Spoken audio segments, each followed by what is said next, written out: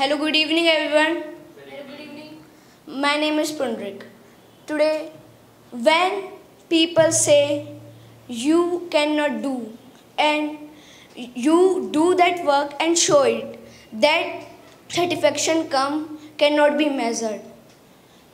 When you are not, you had no, you had no permission to drink water in public sp- spaces, places, and you, that person who used to sit on, on outside of the class outside of the class and from whom the right of education tried to snatch.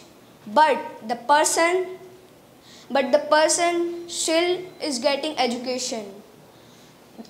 The people who thought who thought he is a untouchable man that untouchable man did a did a untouchable thing that till now anyone has not done. I, yes, I am talking about the legend, great man, Bhim Rao Ambed, Dr. Bhim Rao Ambedkar. We should learn two things from the Bhim Rao Ambedkar.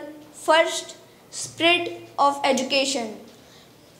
First of all, if AC is on, cool, it's cooling. Your your family financial condition is very good and you are a rich person. You studying in dps high qualified teachers very good books very good school. But if you don't want to study so you can't study. But if a single hut is there a single hut no fan, no AC, no high qualified teachers, no high qualified school, no high, high qualified books. If the person wants to study, so he will study at any situation.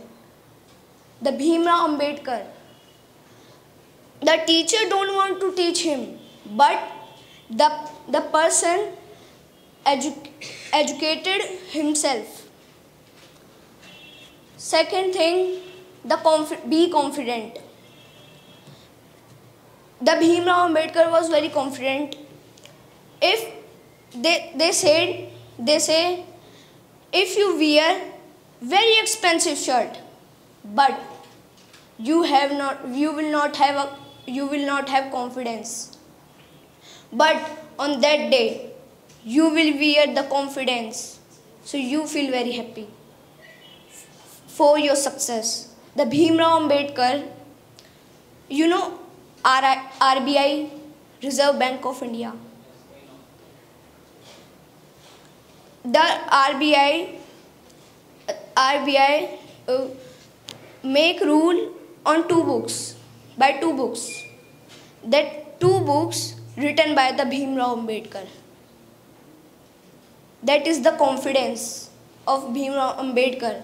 He is a untouchable man, but he he wrote the RBI books, the RBI, Reserve Bank of India. It is not a little talk. So be confident, spirit of learning. Thank you.